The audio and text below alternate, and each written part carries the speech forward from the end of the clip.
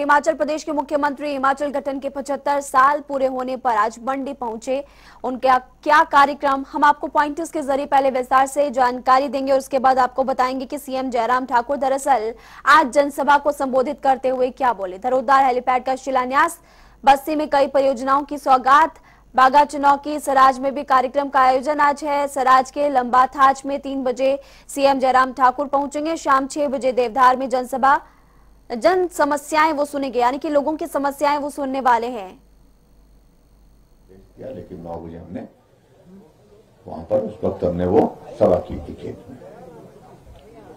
तो ऐसे बहुत सारी चीज़ों को लेकर के फिर आगे बढ़ते बढ़ते धीरे धीरे बढ़ते बढ़ते हम आगे यहाँ पंजाई तक सड़क पहुँचाने में कामयाब हुए और मुझे इस बात की खुशी है कि पुल की शुरुआत हमारे हाथों से हुई, सड़क की शुरुआत हमारे हाथों से हुई और सड़क बंद करके जो पूरी हुई तो उद्घाटन भी हमारे हाथों से इसका हुआ।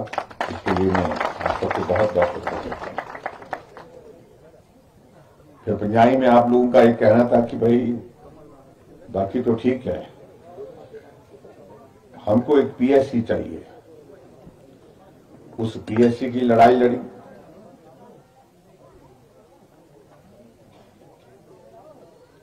और जैसे हमारे कांग्रेस सरकारों की एक आदत है कि वो जाते जाते कर जाते थे, फिर करते थे नहीं। ऐसी पीएससी की स्थिति हुई थी। लेकिन मुझे इस बात की खुशी है कि इस पीएससी की लड़ाई हम सब लोगों ने लड़ी और आखिरकार हमने पीएससी की लड़ाई जीती और ये पीएससी यहाँ पर बनी। इसके लिए भी मैं आपसे देता हूँ। इसका शिलान्यास करने के लिए मैं उस वक्त में मंत्री था। मंत्री था मेरे में बतौर मंत्री आया था, ग्रामीण विकास मंत्रालय मेरे पास था तो हमने शिलान्यास किया था। और आज मुझे इस बात की खुशी है कि बहुत पुरानी, टाइम बहुत लग गया, वक्त बहुत लग गया, लेकिन उसके बावजूद भी वो पीएससी बन करके तैयार हुई, आज उसका विधिवत उद्घाटन हुआ, उसके लिए मैं आप सबको बहुत बहुत बधाई देता हूँ। पंजाई का हमारा स्कूल का भवन का विषय हर बार आता था, थोड़ा पैसा दे दो, थोड़ा पैसा दे दो। और आज मुझे इस बात की खुशी है कि स्कूल का भवन भी बन करके तैयार हुआ है। बता रहे हैं शायद, मेकल में शायद कितने, नब्बे लाख की लागत हाँ कुल मिला करके वो भी बन करके तैयार हुआ है, पंजाई का। ये सत्तर लाख की लागत से। तो उसका भी उद्घाटन हुआ, उसके लिए मैं आप सबको बहुत बहुत बधाई देता हूँ। फिर एक काम और रह गया, बोलते रेस्ट हाउस हमारा बाकी जगह, सारी जगह नए बन गए हमारा रहा पुराना बोलते हमने कहा तो क्या करना? बोलते नए बनाना, बोलते हैं। और फॉरेस्ट डिपार्टमेंट वाले रेस्ट हाउस ज़्यादा बनाते नहीं, कम बनाते हैं। हमने कहा कि जगह तो यहाँ पर अच्छी है, सुंदर जगह। और यहाँ पर रेस्ट हाउस बनना चाहिए तो फिर रेस्ट हाउस बनाने की भी शुरुआत की। और आज मुझे इस बात की खुशी है कि डेढ़ करोड़ की लागत से आपका यहाँ रेस्ट हाउस का भवन बन करके तैयार हुआ, उसके लिए भी मैं आप सबको बहुत बहुत बधाई देता हूँ।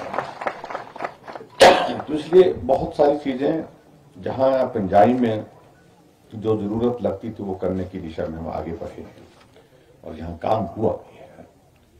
और ये पंजाई का इलाका ऐसा इलाका है जो जहाँ सेब बहुत अच्छी क्वालिटी का होता है। पंजाई है, चाहे हमारा थाची का इलाका है, दोनों इलाके की जो एप्पल की जो क्वालिटी है, वो बहुत अच्छी क्वालिटी है।